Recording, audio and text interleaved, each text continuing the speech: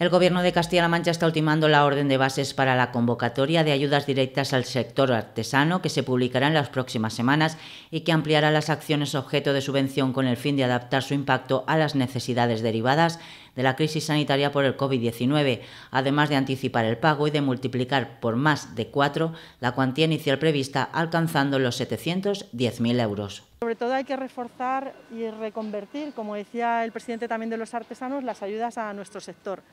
ayudas que van a salir ya en las próximas semanas, eh, que tienen ciertas novedades, que van muy relacionadas al entorno que estamos viviendo, como por ejemplo que mm, se van a multiplicar más que por cuatro las ayudas artesanas existentes hasta el momento para el sector. Vamos a llegar a una convocatoria de 710.000 euros en artesanía, que como digo es prácticamente más que multiplicar por cuatro lo que teníamos hasta la fecha.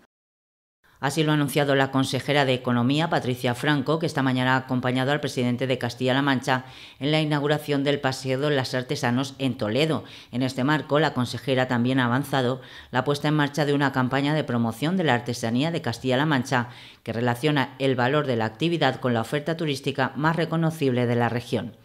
En la apertura del Paseo de los Artesanos, Patricia Franco ha incidido en que el compromiso del Ejecutivo Autonómico con el sector es firme, como muestra que sea uno de los sectores estratégicos de la economía y que cuente con un apoyo especial dentro del plan de medidas extraordinarias con motivo del COVID-19.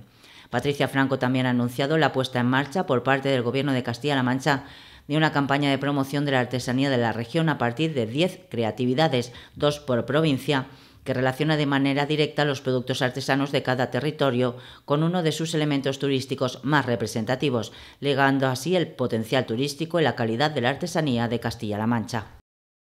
una fuerte campaña también de promoción de la artesanía que va a arrancar en breve y que va a tener eh, información de la artesanía muy vinculada también al turismo de nuestra región, de manera que cada provincia va a contar con dos iconos representativos, tanto de la artesanía como del turismo, para poderlo comercializar. Y eso va a enganchar luego con una segunda campaña que vamos a hacer de regalo artesanía